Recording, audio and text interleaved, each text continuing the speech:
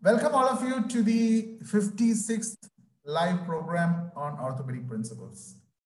We are back with Dr. Vijay Shetty from Hiranandani Hospital, Mumbai.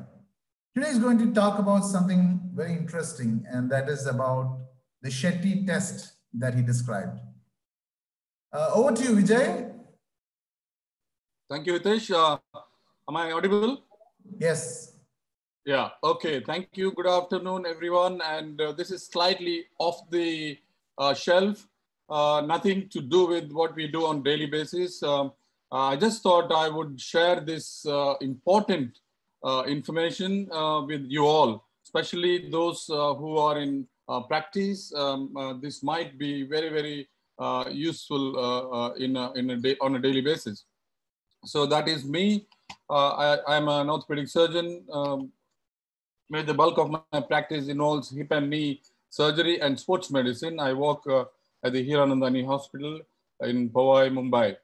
Uh, now, um, I am actually going to talk to you about a test that we developed in my practice. And I found that a test very, very useful in ankle injuries. Please remember what I'm saying here is ankle injuries not just ankle sprain. I'm talking about ankle injuries in general, okay? Uh, so uh, we all know that ankle injuries are uh, very, very common sporting injuries. And in fact, 30% of all sporting injuries amount to ankle injuries. So three out of 10 uh, of the sporting injuries that you see uh, on a daily basis uh, are, they all belong to ankle injuries categories. So if you just look at this, uh, uh, this video, I mean, this is for, I, I made this presentation for a TED talk a few months ago. You see this person has fallen and uh, they come and show you the uh, video and let's just, it's only seven seconds. Just see what happens. And uh, uh, see the way he is landing. Yes, see the right foot. See the right foot, it has gone into external rotation and uh, pronation. Uh, so this guy now comes to your clinic. So you have to now decide whether this person actually needs an x-ray or not. This is all about making a decision on taking an x-ray in the OPD setting. And this is the test about. Now let's go back again. If you really look at the very interesting statistics here, the global incidence of ankle injuries. Remember, I'm talking about ankle injuries, not just the sprain. I maintain this again and again. The overall ankle injuries, it's about 50 per 10,000 population. So 50 ankle injuries, injuries for 10,000 uh, people, which for us, it will be, we have about 1.2 three, four billion people. So roughly in a year, we are going to have about 70 lakh patients with ankle injuries. 70 lakh, 70 lakhs of ankle injuries uh, we produce every year in our country. This is India. So when somebody like that comes to you with an ankle injury, ankle injury, what usually happens is we as orthopedic surgeons or or physicians push the patient, rush him to him or her for x-rays. The question is, do we really have to do the x-rays? That is the main thing, okay?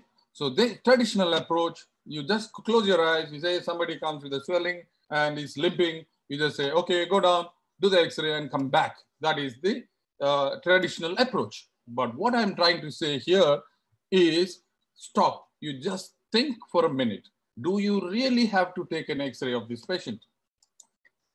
Why I say this is, you'll go back again to the literature, about 15% of all ankle injuries end up with fractures, whereas 85%, there's a reference, if you need it, I will send it to you later, 85%, that means 85% of those ankle injury patients may not need x-rays.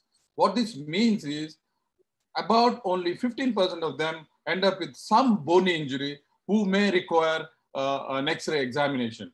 And 85% of them may not need X-rays, but we still end up doing X-rays. So what that means in our population, I said to you that about 70 lakh people get uh, uh, ankle injuries in our country. 85% of 70 lakhs is about 50 lakh people. Look at this figure. 50 lakhs of them may not need x-rays, but we are doing x-rays on every patient uh, who comes in.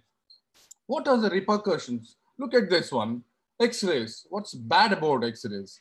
For a start, it is radiation exposure. You know, you see ankle injuries, especially in very, very young people and radiation exposure. You're just sending them without even discussing about what's going to happen. What is the theoretical risk of radiation? 0.6 M serve per exposure.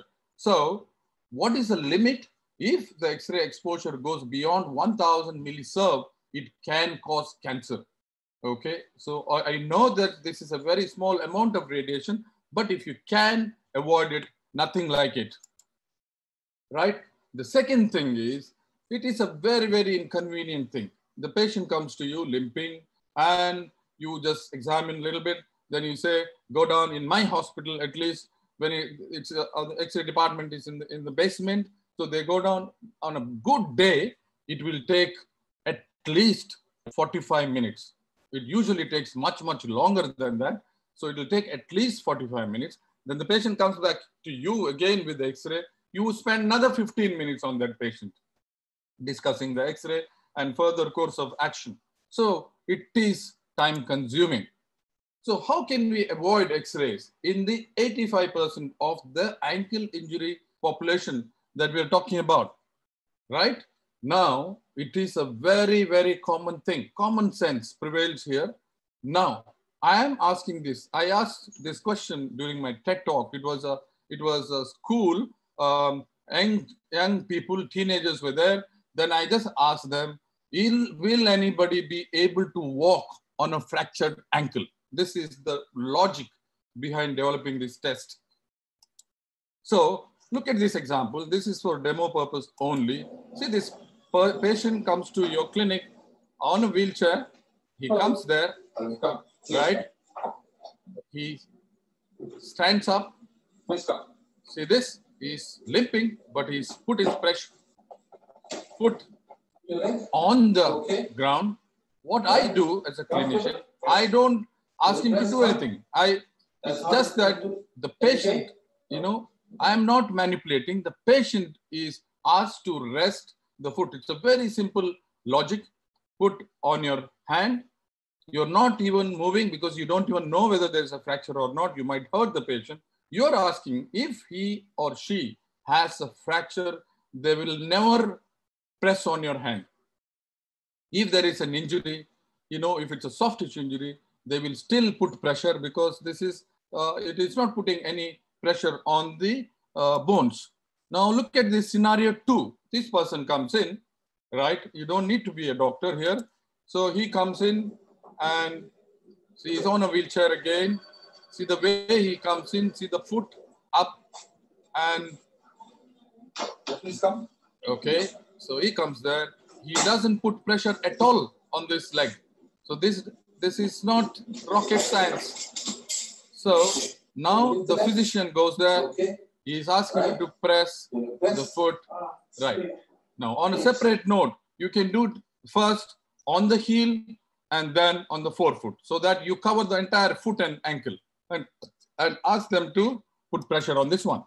So if that patient, you see on the background, there is a picture of this Shetty test. You see if the patient says, ouch, it's painful, then a fracture is very likely and I send him for x-rays, okay? Then I will do the x-rays. Now, this is a real patient. Look at him. Now, this person came to me for a second opinion. This is very interesting because I saw, he, he came to me, I think 48 hours after this injury, and you see uh, an actual patient, and we have taken informed consent from the patient to show this uh, picture in this uh, lecture you see the ankle swollen, right? Or for a naked eye, it looks like there is some serious damage, obviously. But see, I'm asking him to do this test. He's pushing it very hard. then he shows me his, yeah, he's pushing very hard and see. So I would not have asked for an X-ray, but he came with an X-ray because uh, a doctor elsewhere who has seen him has done the X-ray. You see the X-ray is normal, right? This is a very, very important uh, information for us.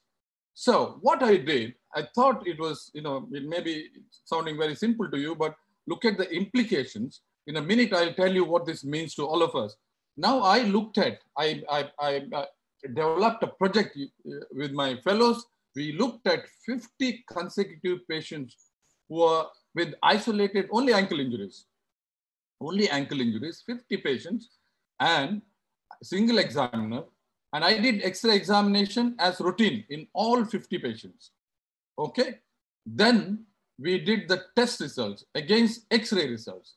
So these people have come and I have not seen the X-ray. Now what I have done with uh, this, out of which 43 patients did not elicit pain. So the Shetty test was positive, which means that there is no fracture by virtue of the test. And all those 43 did not show any fracture, any bone injury.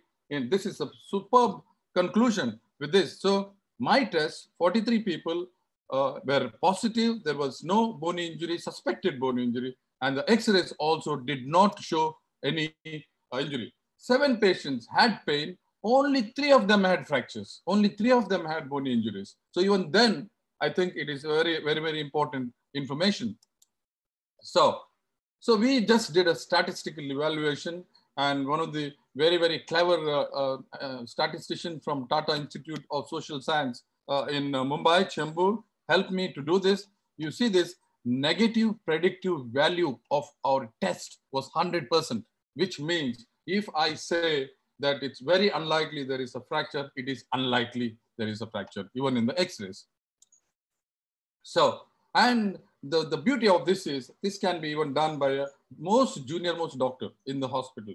I mean, if you teach it to nursing staff, even they can also do. And if your clinic is very busy, you can ask one of them, if somebody comes with an ankle, ankle injury, just tell them to do the test. If necessary, send them for an x-ray and then so that you don't waste your time.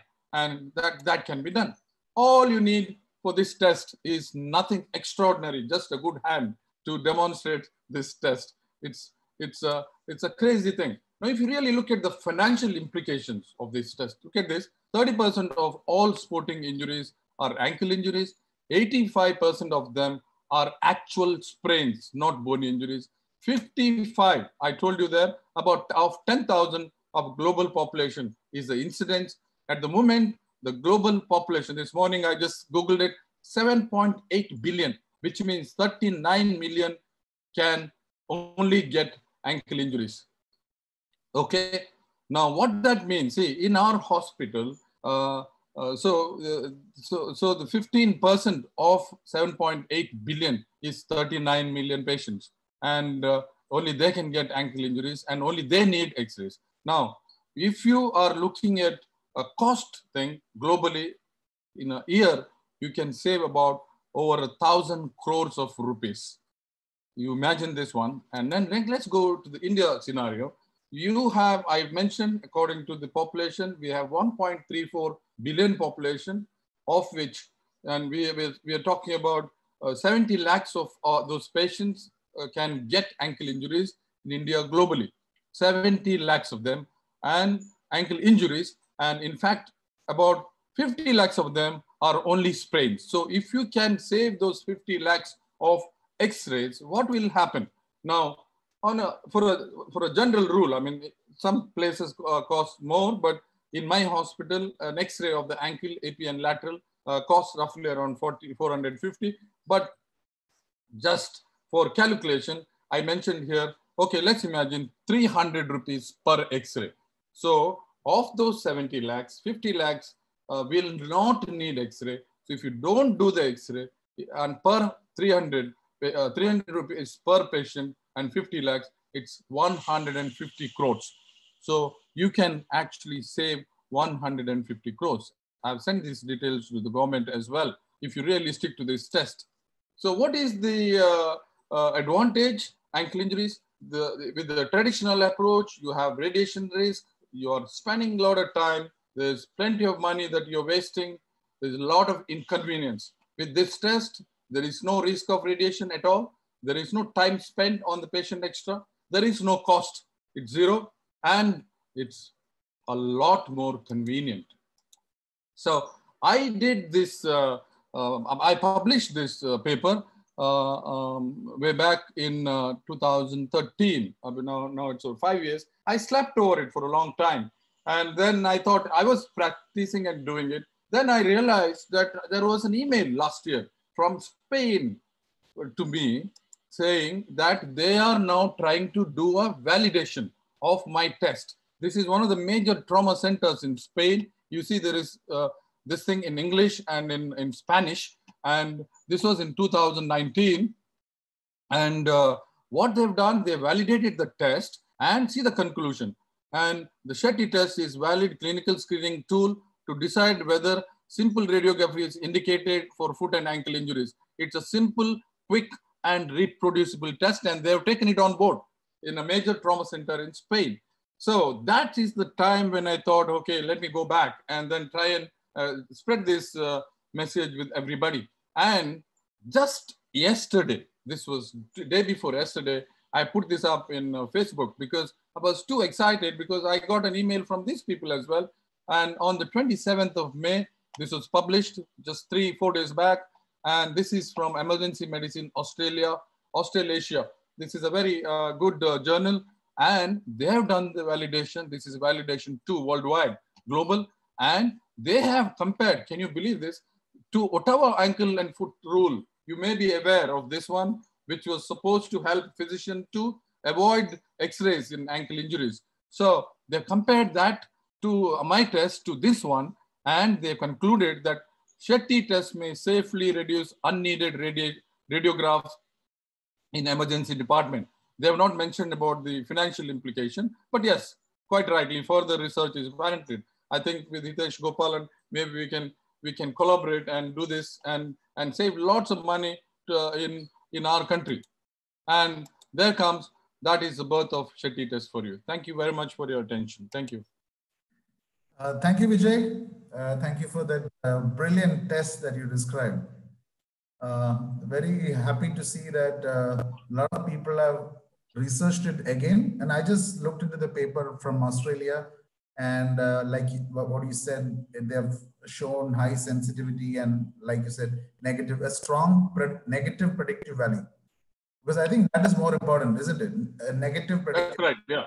Yes. Yeah because you're you're looking at eliminating x-rays yes so you want the negatives so you can imagine if it's a rural area people with ankle injuries they run into um, uh, urban areas hospital uh, for attention uh, to check and all that i think if it's something that is a simple ankle injury they can actually wait for some time uh, so implications are huge and this can be done in any primary healthcare center.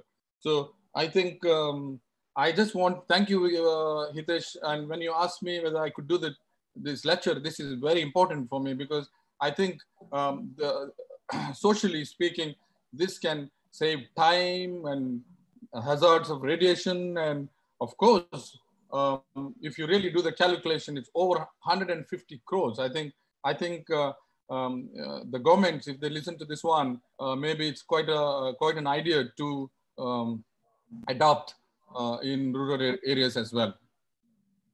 Yeah, especially in very high level trauma centers where you don't want to waste a lot of time for taking uh, X-rays for small minor injuries, isn't it? Yes. That's where the difference is going to be. Yeah. But your hospital, will they be happy because you're not taking x-rays? Well, it doesn't matter to me.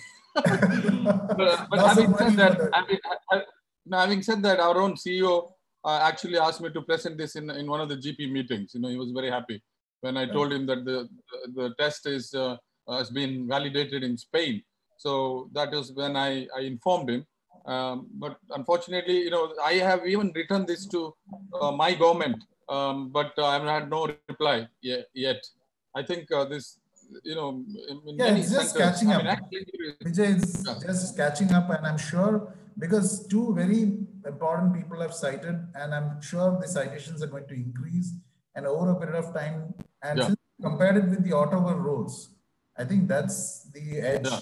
Have over the other tests. It's just a matter of time. I'm sure it's going to be adopted well by everyone. Yeah. Uh, okay, want to comment? thank you. Want to say something? No, I'm done. I'm, Okay, There's thank another you once again for lecture. being with us, uh, for Yeah. introducing you. thank you. All the best, and you're doing a great job. Thank you very much. Yeah, looking forward for more.